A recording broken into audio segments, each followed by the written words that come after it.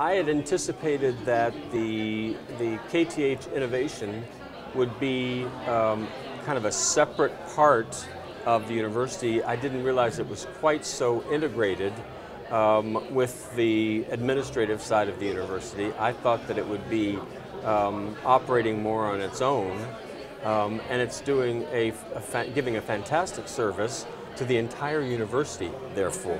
Um, if it were more on its own, it might not be addressing quite all the aspects of the university that it is. And, and it's, it's, um, I think it's, it's very interesting that the university is making the effort to allow the kind of information that uh, KTH Innovation proliferates among faculty and students and researchers and that's being made available by the university to its own um, personnel.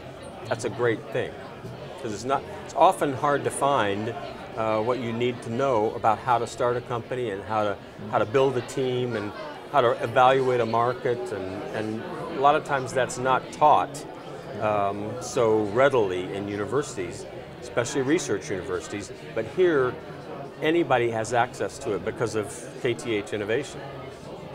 That's a surprise. The innovation aspect of KTH is, is perhaps better known and renowned outside of Sweden than it is inside of Sweden. So um, I think we will be encouraging the efforts to um, for KTH Innovation to uh, raise its profile inside of Sweden and let uh, the entire country realize what a fantastic uh, opportunity they present for people who come to, to KTH. For entering students, if they have any idea that they want to start a company or, or, or become an entrepreneur, uh, KTH is, looks to me like it's one of the leading uh, uh, universities in Sweden to do that.